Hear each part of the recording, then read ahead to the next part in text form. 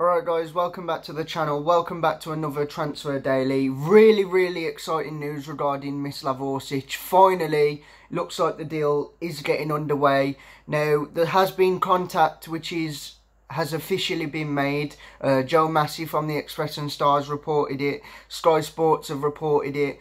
And I think, is it John Percy from the Telegraph? He's reported it as well.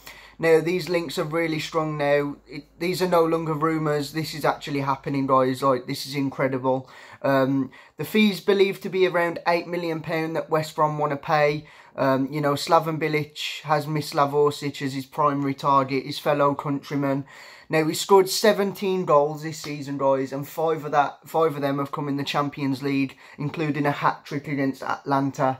Now, that is just incredible that we're even getting linked with a Champions League player you know, Dynamo Zagreb probably won't want to let him go, but um, obviously Mislav Orsic will probably be keen to be joining Slaven Bilic, who's a really good manager. But guys, this looks like it's going to happen now. Um, all that all we need now is an actual bid to be made.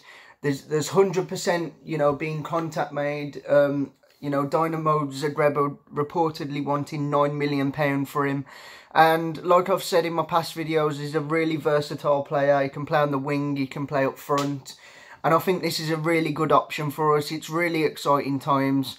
Um, on top of that, um, Slaven Bilic has now come out and said, not only said he just wants Orsic, he's saying that he wants at least two attacking players at the club. Um, he's meant to have drawn up a short list. Um, no one's actually said who the other two are, but I believe that it could be one of them could be Lyle Taylor. I think Joe Masi from the Express and Star um, is thinking that as well, but he hasn't reported it because he doesn't know anything concrete. Uh, but Lyle Taylor's contract is he did refuse a contract earlier this month for Charlton, and he is looking to move for a move away from the club. Do you think Lyle Taylor would be a good option?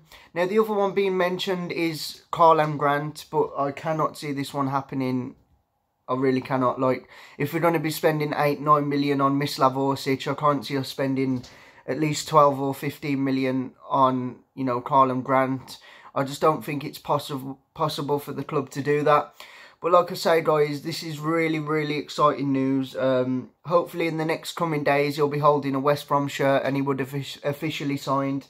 Um, now, I have been, like, scouting the web and stuff like that. And He's, he just seems like a really, really good player. He's got a lot of pace. Um, I saw a couple of things saying he isn't that good at crossing the ball and stuff like that, but you know, we're all guilty of going on YouTube and looking at compilations for this guy because I, I've done it. I, I literally, a couple of days ago, I went on there and looked at a compilation of him and he looks incredible. And I know you can't always judge a player by the way they look on YouTube and stuff like that, but you know what?